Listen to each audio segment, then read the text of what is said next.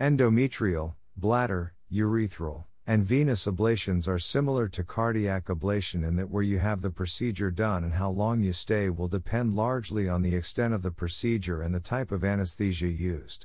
If you require general anesthesia or have complications during your surgery, you may have to stay in the hospital for an extra day or two.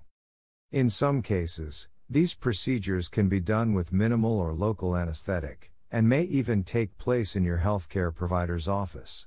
This is particularly true for superficial or surface ablation procedures that are meant to fix minor imperfections or even out skin coloring.